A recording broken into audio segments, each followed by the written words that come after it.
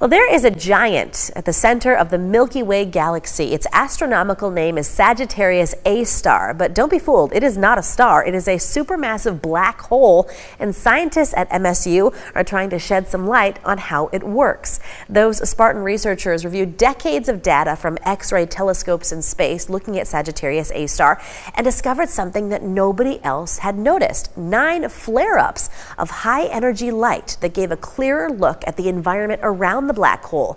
Analyzing this new data let them put together a clearer picture of its patterns of activity, including that it used to be five orders of magnitude brighter just 200 years ago.